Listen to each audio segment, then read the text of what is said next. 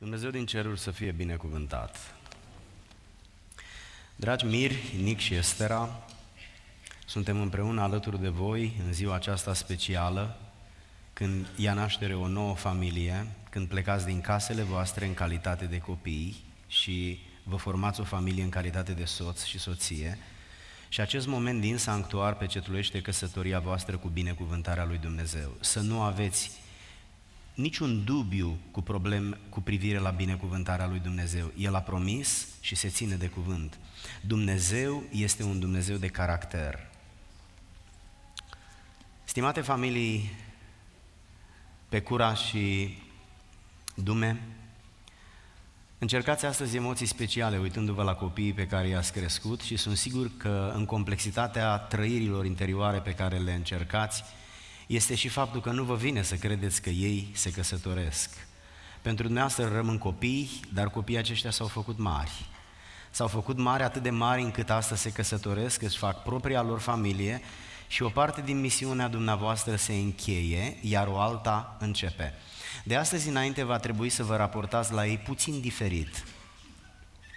Autoritatea nu mai este executivă ca până acum, ci este doar consultativă. Au casa lor, vremea în care i-ați tot învățat s-a cam încheiat, dar asta nu înseamnă că nu veți continua să-i sfătuiți, să le oferiți sugestii și să vă rugați pentru ei. Oricum, nivelul de autoritate se modifică.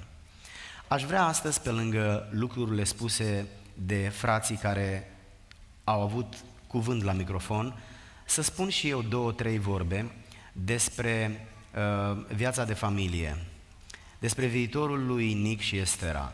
Aș vrea astăzi, plecând de la textul din Efeseni, capitolul 5, unde Pavel vorbește despre viața de căsătorie, aș vrea să desprind uh, un gând pe care l-am numit investiție și profit în familie.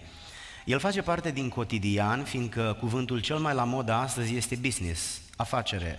Atâta oameni în cap, oamenii sunt nereligioși, Religia a ieșit dintre preocupările oamenilor. Uh, observați că în trecut religia era prezentă în existența umană, astăzi nu mai este. Astăzi este prezentă știința, divertismentul, individualismul, singurătatea și dacă nu vă cade rău, divorțul. Cum explicați dumneavoastră că oameni care au astăzi mașini, aproape fiecare individ din America are o mașină, fiecare are un loc unde să stea, fiecare câștigă cel puțin uh, câteva sute bune de dolari pe lună. Nu se înțeleg și se despart, în timp ce pe vremea bunicilor noștri oamenii câștigau câțiva saci de porumb, câțiva de grâu, unul de zahăr, mai puneau ceva în grădină și îmbătrâneau împreună. Știința i-a prostit pe oameni Știința le-a luat capacitatea de a îmbătrâni împreună după ce s-au căsătorit. Cine anume le-a, le luat oamenilor capacitatea de a rămâne în viața de familie până la sfârșit? Aș vrea să vorbesc despre investiție și despre profit doar pentru faptul că sunt doi termeni cu care lucrăm toată ziua, însă investiție și profit în familie. Dumnezeu vorbește în Biblie despre viața de familie ca despre o relație superioară, ideală, care conferă fericire componenților ei, adică soțului și soției. Biblia explică faptul că această stare de fericire nu vine odată cu ploaia și este un beneficiu. Dar în lume nu există beneficiu fără investiție. Dacă starea de fericire este un beneficiu, dacă beneficiul este produs de o investiție, atunci lucrul la care trebuie să vă concentrați voi este investiția. Apostolul Pavel, având intenția să se facă ușor de înțeles pentru oamenii care citesc epistola lui, uh, explică faptul că modelul relației dintre soți este relația dintre Hristos și biserică. Și el îl asociază pe soț cu Isus Hristos în comparația aceasta, iar pe soție cu biserica. Și Apostolul Pavel compară relația din familie dintre soț și soție cu relația spirituală dintre Hristos și biserică. În ambele tipuri de relație, Apostolul vorbește despre investiție și despre profit. Nu există în lumea noastră nicio altă investiție cu un profit, cu un beneficiu mai mare și mai stabil decât profitul și beneficiul pe care îl are Dumnezeu în urma investiției sale. Dumnezeu a investit, cosmosul era gol, Dumnezeu l-a decorat, Dumnezeu l-a populat, Dumnezeu a așezat elemente în el, planetele, galaxiile, iar pe planeta Pământ un bulgăre de tină. Dumnezeu l-a populat cu oameni, a fost un bărbat, apoi o femeie și acesta rămâne exemplu până la sfârșit, indiferent ce hotărăsc guvernele lumii. Și în acest decor, decor superb al lui Dumnezeu, există investiția aceasta uriașă care n-a putut fi distrusă. Dumnezeu nu a pierdut. S-au luptat cu Dumnezeu toate guvernele lumii, toți împărații, neștiința și ignoranța omenească. Dumnezeu a continuat să aibă profit. La Golgota se părea ca Ieșua, da de unde? A fost o nouă investiție a lui Dumnezeu. Și iată că Dumnezeu are beneficiu din toate lucrurile. Dumnezeu nu pierde, Dumnezeu câștigă. Se opun regii, se opun oamenii bogați, politicienii, oamenii de știință, inteligenții lumii, destrăbălații, Însă Dumnezeu continuă să aibă profit, lumea aceasta este condusă de El, nimeni nu-L poate detrona, nimeni nu-i nu poate pune mână la gură, Evanghelia Lui se predică, Evanghelia Lui, deși este interzisă, este predicată oriunde, inclusiv în cele mai comuniste țări din lume. Dumnezeu a investit și are profit. Să investiți cu bucurie, pentru că veți avea profit dacă veți investi în direcția Lui. Dacă asemenea expresului veți intra și veți merge nu în contrasens, ci în sensul lui Dumnezeu. Uh, investiția este responsabilitatea soților. Din textul pe care Pavel îl scrie, înțelegem că soțul, asemenea lui Hristos, trebuie să investească iubire. Însă iubirea aceasta trebuie să fie o iubire de calitate. Ea poate fi o iubire pervertită, adică citeam din Biblie despre faptul că dragostea să fie fără ipocrizie, să fie o dragoste reală, o dragoste existentă, nu aparentă, nu împrumutată, nu mascată de zâmbete americane și de teatru. Trebuie să fie o dragoste din inimă, care să fie necondiționată. Dacă te vei uita cât de mult va merita Estera, vor fi momente când s-ar putea să nu merite.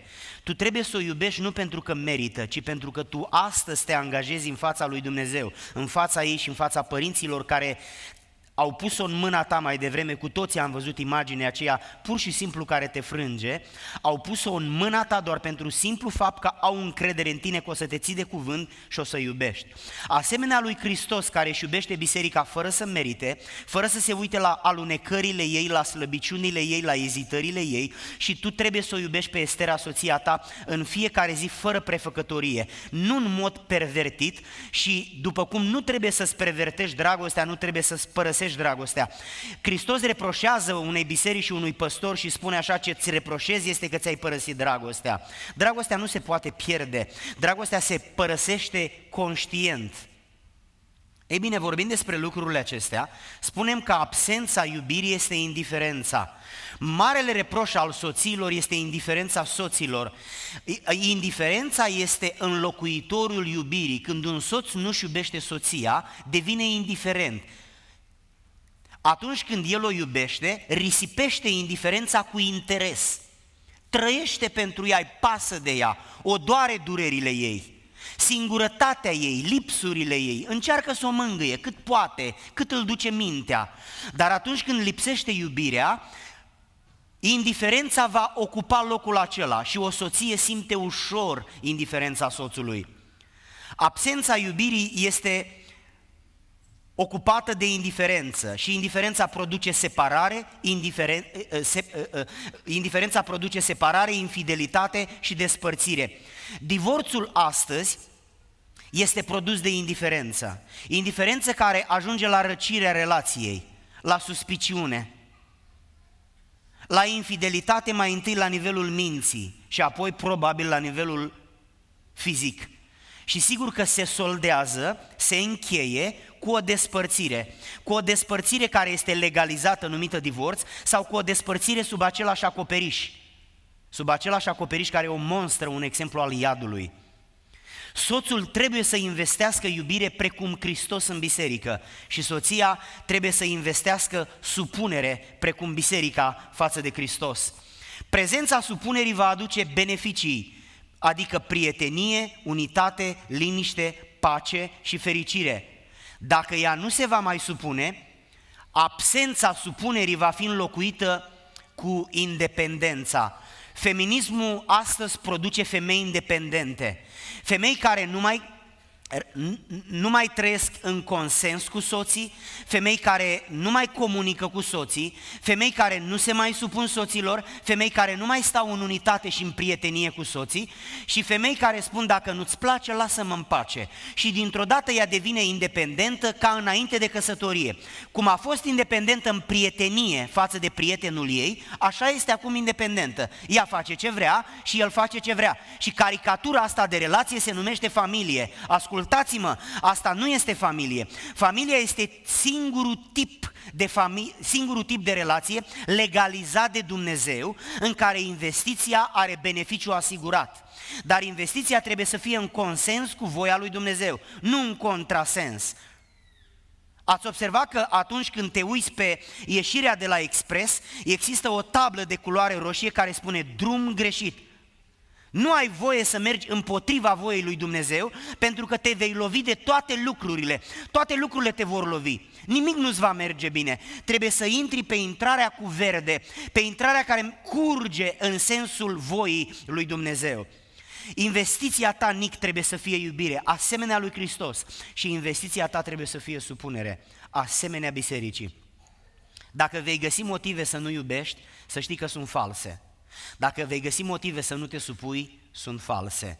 Supunerea ta nu trebuie să aibă legătură cu iubirea lui, iar iubirea ta nu trebuie să aibă legătură cu supunerea ei, în ciuda faptului că omenește, acestea două încurajează sau descurajează.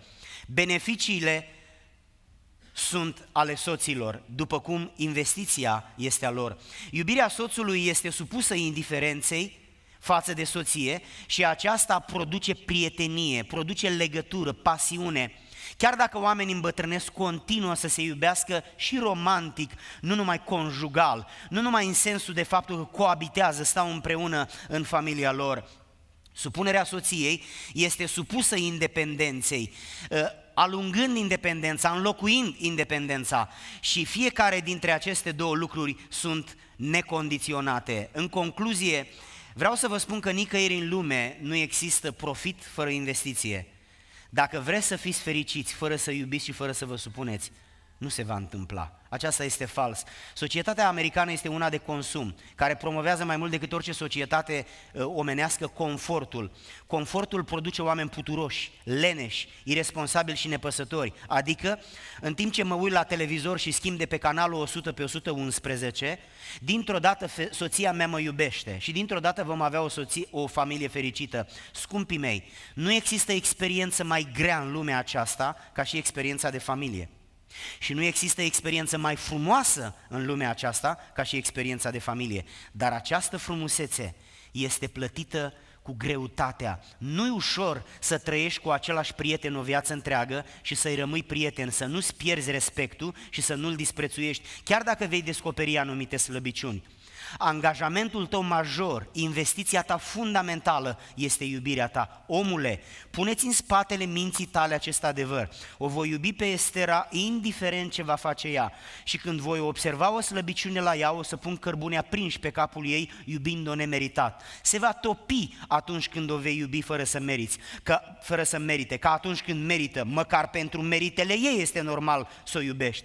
La fel cu supunerea ta, respectă-l pe bărbatul acesta, să nu-i treci prin față, să-l respecti, să-l promovezi, să-l împingi înainte, în public să-i dai întâietate și întâietatea aceasta să nu fie doar de fațadă. Respectă-l ca pe băiatul pe care tu l-ai luat dintre toți cei pe care puteai să îi alegi sau să îi accepti și fă împăratul inimii tale, precum el va face din tine regina ta. Fericirea voastră nu depinde de mine și nici de părinții voștri. Ce au depins de ei este să vă crească și să vă educe. Și în concluzie mai spun un lucru care mi s-a născut în minte ascultând predica pastorului pe cura. Să știți că pentru a fi fericit în familie nu trebuie să fii doar spiritual, trebuie să fii și manierat. Dânsul spunea să spui mulțumesc când te ridici de la masă, asta nu depinde de pocăință. Asta depinde de bunele maniere pe care te învață mami când ești mic și tati. Și de asemenea toate celelalte alte lucruri în familie care nu țin de pocăință, țin de maniere, țin de bunul simț, țin de creșterea de acasă. Noi trebuie să fim niște oameni politicoși. Țara aceasta nu promovează politețea și manierele, deloc promovează doar confortul și atât, indiferența și nepăsarea. Culegeți din toate culturile lumii ceea ce poate împodobi calitatea voastră de a iubi și de a fi supus. Și de asemenea veți culege din cer binecuvântările care vor împodobi viața voastră. Fericirea bătrâneții acestor oameni depinde de fericirea cuplului vostru să-i cinstiți, că marele a fost investiția în viața voastră. Multe au fost lacrimile și mare a fost efortul lor ca să ajungeți mari, bine crescuți, botezați în biserică și să faceți această cununie intrând în viața de familie, nu prin experiențe sexuale cum intră oamenii din lume, ci printr-o puritate care se încheie aici, în casa lui Dumnezeu, fiind soț și soție, adică mire și mireasă. Dumnezeu să vă binecuvinteze și toată investiția pe care o voi voi o veți face în fiecare zi în casa voastră, să fie onorată de binecuvântarea lui Dumnezeu și de fericirea pe care o așteptați. Amin.